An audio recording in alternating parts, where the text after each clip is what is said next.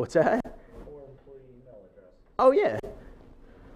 So anyway, that's I'll I'll stop preaching to you guys, but that's that's kind of my uh, my take on this is don't don't lose sight of what's in front of you. Uh, Five minutes. oh, I'm done. High five. So there. You guys have any questions or anything, or you're like, damn, you didn't talk about injection. Screw this guy. What's up? How do you deal with clients that uh, consider a pen test uh, only like a C&A? Like, we just want NIST 800 Vision 3A. Well, And that's it's our not a pen pen test. test, right? You don't penetrate. Right. But when they, when their CISO is saying, I know, I that's know. all we have to do to comply, how do Um, you deal with those clients? It, it depends on who they are.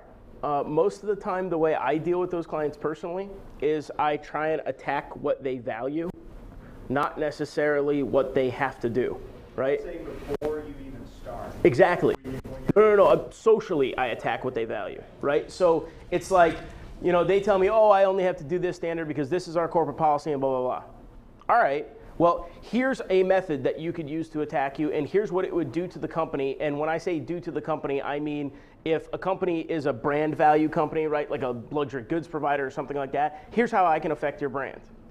And, and NIST isn't going to cover this whole how I affected your brand, right? So uh, I'll try and make those types of connections to them that are well outside of electronics and kind of down to the root of their business to scare them into it or whatever. But I'll also make some of the connections out to, you know, like I was talking about with this, is you are focusing on testing one venue of attack. And if you're concerned about checking a box, we'll do it that way. But if you're concerned about protecting the asset, you have to say, we've identified nine other ways that you can attack it aside from this one. So really, this test is covering 10% of your landscape. But that's, that's an awesome question. I run into it constantly. The other thing you can do is when you do your pen test, you wait until have the pen test.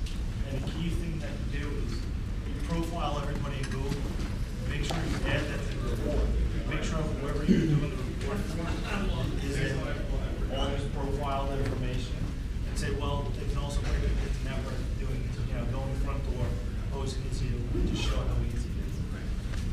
What's that, Just Tom? one, one other thing, never underestimate either the intelligence or the stupidity of a CISO, right? Hmm. So, just recently, you know, I'm, I'm a corporate guy. And just recently, I, I had some external pen testers come in, you know, and they did the perimeter like we do annually, right? And, Yeah. and I usually include social engineering, and this time I was specifically instructed not to do that. You know, and, and I'm thinking this is a huge gap, you know, and I'm, I'm arguing with the CISO, and you know, I'm going back and forth, and it comes out, he's got another group that's focusing on social engineering the company that I'm hiring. So never underestimate either the stupidity or the intelligence of the folks Effective. around us, because there may be other plans. Good intel. Um, he had one of the new. Yeah, I'm just curious, when you bring these results to your client, Huh? You say so-and-so's doing this, we found this and that, what do they say when you do this comprehensive test? They actually fix it. Do they? They actually fix it. I'll tell you what. uh, That's. I've been doing this for now like 15 years, and I've never found anything that actually makes a client fix something except for this. Um, most of the time, as any of you know who do testing, they they look at the big report. It's a big giant report. They have all sorts of screenshots and whatever else in it, depending on who and how they tested it. And they look at it and they're like, "Wow, that's comprehensive." And it's done. That's it. That's your test is done. But but when you start to paint this picture of a real life attack, it's way different. They they connect to it very psychosomatically, right? It's it's built more for testing people in a way that's psychologically congruent than it is electronically congruent. Right? So when you're when you're touching them that way and you're taking a, hey, look, here's a video of me walking through shoving USB keys into stuff and doing this and I'm I'm the attacker. I'm sitting right in front of you it's it's real you know it makes it real whereas you can refute a lot of this oh well this code that's right here isn't the way it's supposed to be which is right here so you need to do this otherwise you could get attacked and lose all your data the, the csos the c-level guys are like okay so this number's supposed to be this number and they know that but it doesn't connect to their business understanding as well. And when you connect it to their business understanding that it changes how their acceptance is. So your report to them usually contains video.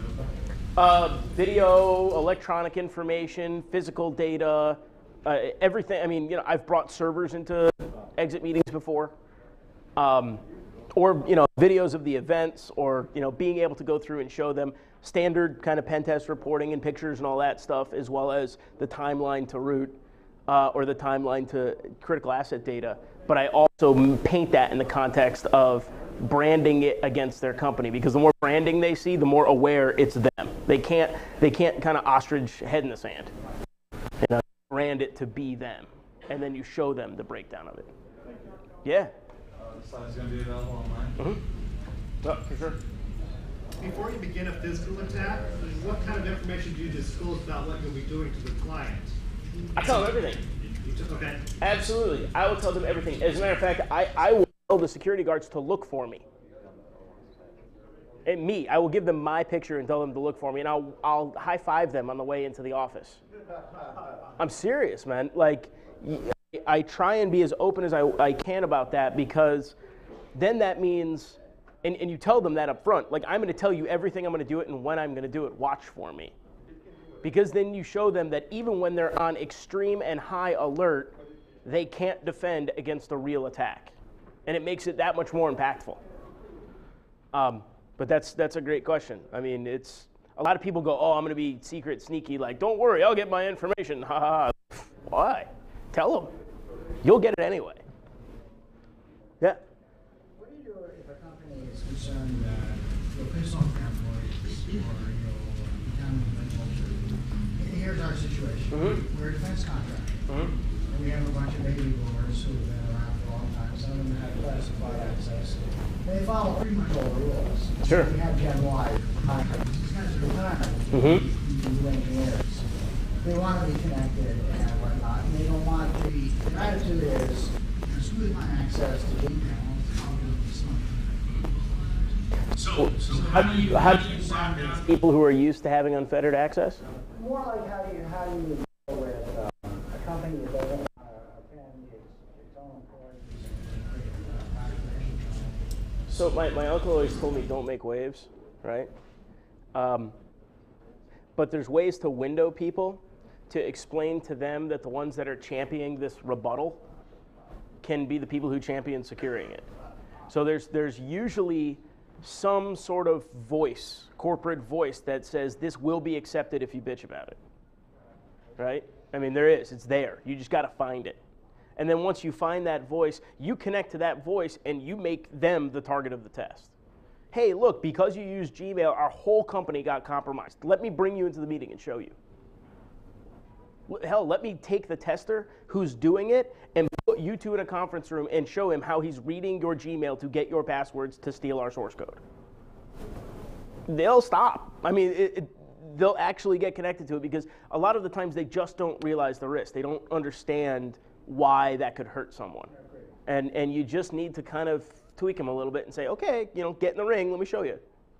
Because this is what we have to go through. And then it's either stand up for the company or let us get hacked. And if it's let us get hacked is your philosophy, then you probably shouldn't work there. So, well, thank you guys. I don't want to cut into anybody else's time. Um, I'll be around.